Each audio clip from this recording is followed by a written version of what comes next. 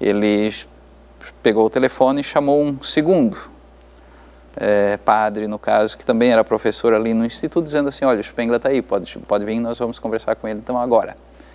Desligou o telefone e chamou um terceiro. Eu gelei. Vou apanhar. Eu gelei. Disse, Pronto, aconteceu alguma coisa muito grave, porque se uma conversa com uma pessoa já é séria, com três então deve ser uma coisa extraordinária. E, enfim, quando estava todo o grupo ali, então, naquele, naquele espaço, ele disse assim, olha, nós temos uma proposta para ti. Se disseres que sim, nós agradecemos. Se disseres que não, queremos saber por quê. E a proposta é que você uh, prossiga os estudos de teologia em Israel. E uh, o compromisso era uh, passar os três anos em Israel sem, digamos assim, a possibilidade de voltar de férias nesse intermédio ao Brasil. Ah. Né? Na época, meados dos anos 80, digamos assim, uma passagem, uma viagem deste, deste porto também era muito caro, né? E uh, um ano antes, meu pai tinha tido um câncer, muito sério, e esteve assim por um fio, digamos, né, por um triz. Então, uma situação delicada, afetivamente falando, né, em relação à família. Eu me lembro que pedi 10 dias para pensar. E ele me disse até amanhã à noite. Né? E, e, hum, tomado por essa surpresa, naquela noite ainda me lembro, é, liguei para casa, pedindo para falar então com meus pais, né? para colocar a situação. Naquele tempo não tinha telefone em casa. Né? Então tinha que ser na casa da vizinha, essa coisa toda. E eu me lembro que minha mãe veio no, no telefone, eu apresentei a proposta e perguntei, escuta, conversem aí vocês, o que vocês dois eh, poderiam talvez dizer qual o conselho que me dariam como filho, né? E minha mãe me respondeu assim, olha, você escolheu esta vida, você está assumindo esta vida, as decisões agora são tuas. Né? Diante da resposta dela, no, no, dia seguinte eu procurei então o reitor da casa e eu disse, não, eu aceito, eu aceito. E em dez dias eu estava em Milão, na Itália, para começar a estudar italiano. Né? Ali passamos o um mês e depois então voamos para Israel, até porque o curso em Israel era ministrado em língua italiana. Ah. E me recordo que nós chegamos num final de sábado à tarde em Israel, Shabbat, né, e tal. E, e, e aí o, quem nos acolheu na casa onde iríamos então morar pelos próximos três anos, disse assim, olha, amanhã vocês aproveitam para dormir um pouquinho mais, até para descansar da viagem, etc. Tem essa questão da adaptação, a situação da Palestina, da Terra Santa, Israel, tudo isso. Durma um pouco mais né? e nos encontramos 10 horas, diz ele. Então, domingo, né? dia seguinte. Eu me recordo que deitado de manhã cedo, madrugada, na cama, eu escutei um grande estrondo. E aquilo me acordou, claro, mas acho que estou sonhando. Né? É, quando me levantei mais tarde, então, encontrei um gaúcho que estudava lá também na mesma casa e perguntei para esse, esse colega, então futuro colega de estudos, escuta, Parece que eu escutei um estrondo estranho hoje de manhã. O que aconteceu? É verdade? O que foi? O sonho? Disse, não, não. Foi uma bomba que estourou hoje de manhã na porta de Damasco, uma das portas de ingresso da cidade de Jerusalém. Né? E aquilo foi o, o, o, o início do movimento, o momento inicial, oficial, digamos assim, se se pode chamar de oficial, né, uhum. do movimento conhecido como Antifada, né, que continua tendo desdobramentos até os dias de hoje, uhum. quase 30, 25 anos, 30 anos depois. Né. Bom, evidente que o senhor foi não apenas para estudar, o senhor foi com algum encargo, mas eu quero falar sobre isso no próximo segmento, tá certo? Ah, certo. Nós continuamos conjugando verbos na primeira pessoa com Dom Jaime Spengler, arcebispo metropolitano de Porto Alegre. Os contatos com a nossa produção podem ser feitos pelo nosso endereço eletrônico, primeirapessoa.tve.com.br ou vocês nos procurem no Facebook, estamos lá, primeira pessoa. Dom Jaime, eu acho que o senhor não foi só para estudar. Se eles lhe deram dez dias, aliás, um dia para pensar, tem que ir, tinha algum encargo, era encargo? Em primeiro lugar, a, a tarefa era estudo, sim, mas também a, a, a, disposição de colaborar eu diria assim, nos lugares santos. Né? Desde o século XII, praticamente, os lugares santos da Palestina estão sob os cuidados dos franciscanos. Né? E ao longo da história, em diferentes situações, houve, houve é, assim, instantes de grande desafio, de muito sofrimento também. Né?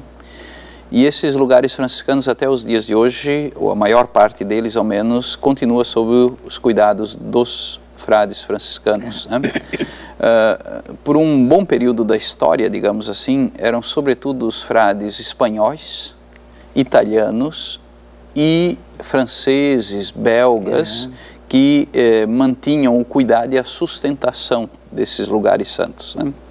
Uh, desde uns tempos para cá, digamos assim, a ordem franciscana tem solicitado a colaboração das diferentes províncias presentes mundo afora, né? Uh, a fim de eh, mandarem frades Sim. para ajudar na manutenção desses lugares santos. E como ali é sobretudo um, um, um trabalho, eu diria assim, de presença, marcar presença, né? Uh, se solicita também que quem deseja, quem tem condições, né? de ali fazer seus estudos, que possa de alguma forma também colaborar uhum. com, esta, com esta presença, diria assim. Né? Então, a, a, nossa função, sim, era em primeiro lugar o estudo, mas também esta de, de marcar presença é, nesses lugares santos, sobretudo nas datas é, mais importantes, né? onde a Igreja Católica, no caso, né? uhum. né? É, desenvolve ali o seu trabalho de cuidado, manutenção e promoção, eu diria assim, da vida cristã naqueles lugares. E o senhor conviveu com medo nesse período que estava lá?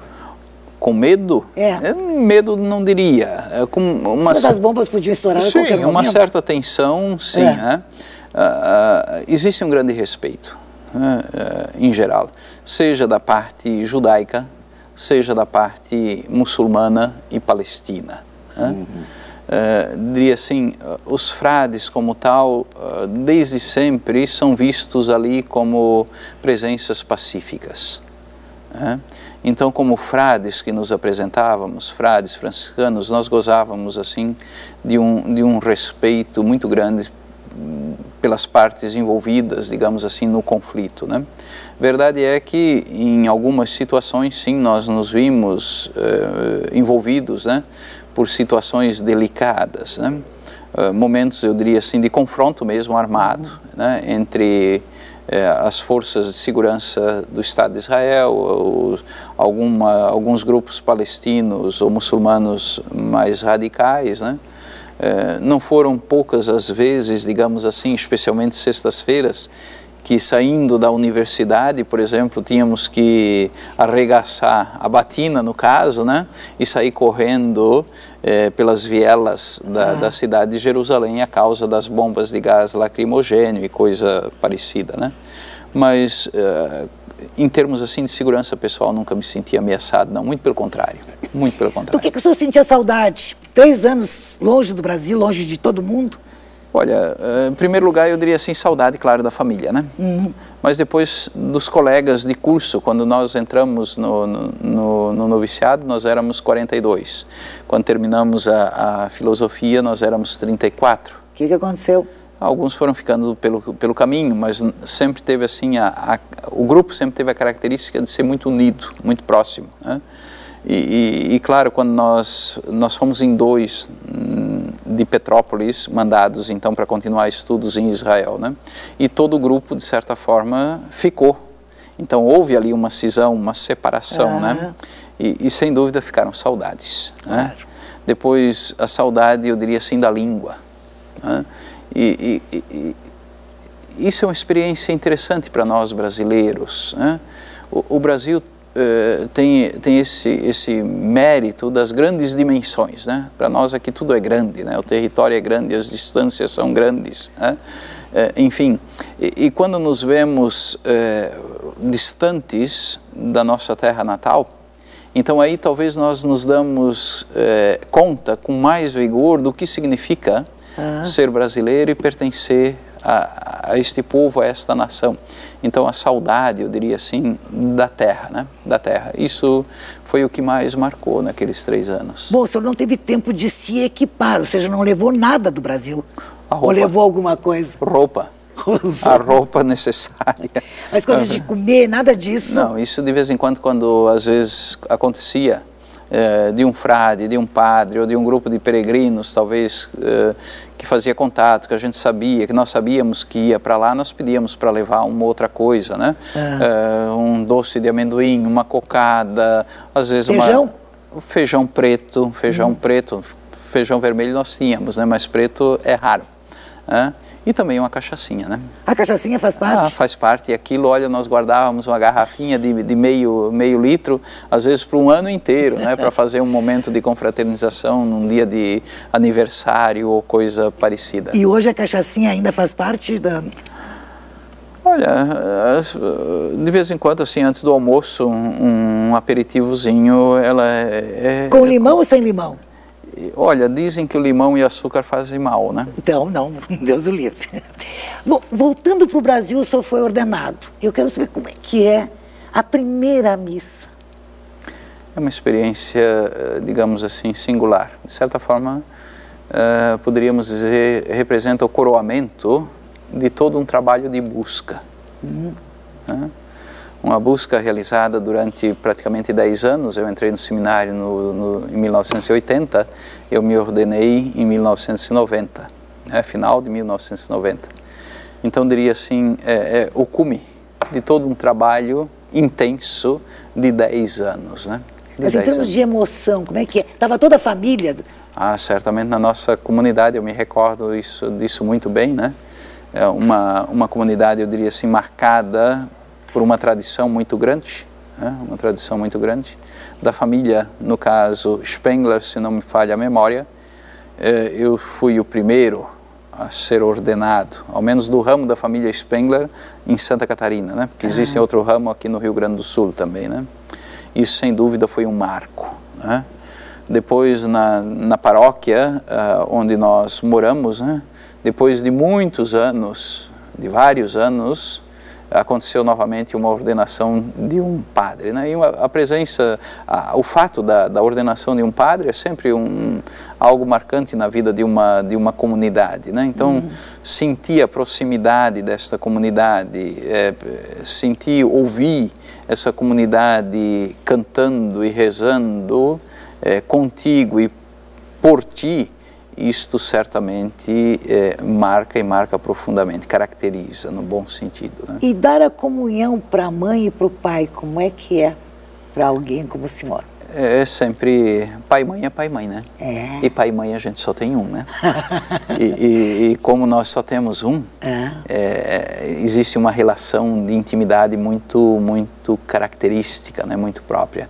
É, sem dúvida nenhuma é uma experiência especial. Uhum. Bom, a partir daí começaram os grandes encargos. Né? É. Ou não?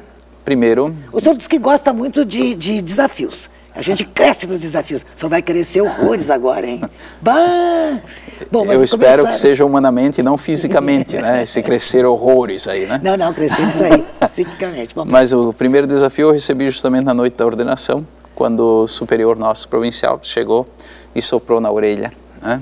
Dizendo assim, olha, nós estamos contando contigo numa experiência nova que estamos iniciando na cidade de Guaratinguetá, interior de São Paulo, um processo novo é, de formação para os candidatos que estão chegando para a vida religiosa franciscana, no caso. Né? É, para mim, aquilo foi uma surpresa enorme, né? E, e, e, sair assim do período de formação para assumir justamente uma tarefa eh, no âmbito da formação, que é sempre um desafio, né? Uhum. de, uma, de um lado, diria assim, expressava uma confiança muito grande da instituição na pessoa da gente.